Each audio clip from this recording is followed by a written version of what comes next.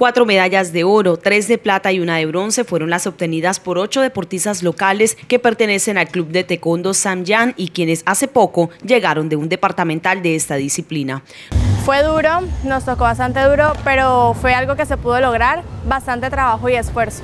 La verdad fue una gran ayuda, algo que fue una base fundamental que hoy en día me ha ayudado bastante pues, con los triunfos que he tenido. Pues nosotros representando a Barranca Bermeja nos sentimos muy bien, es excelente dejar en alto el nombre de la ciudad. Los integrantes de este grupo que se forma en la Comuna 5 a través de las escuelas del INDERBA ya piensan en el Campeonato Nacional Ranking G1 que se realizará entre el 16 y 19 de marzo próximo.